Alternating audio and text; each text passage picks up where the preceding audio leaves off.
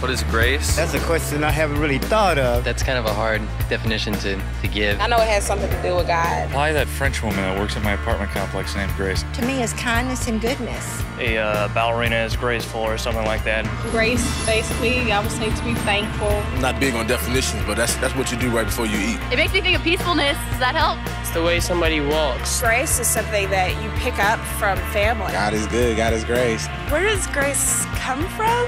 Grace comes from your actions and your deeds. If you let it come to you, it'll it'll be there. Have to accept yourself, so it really comes from inside. I just think it's something that everybody should have.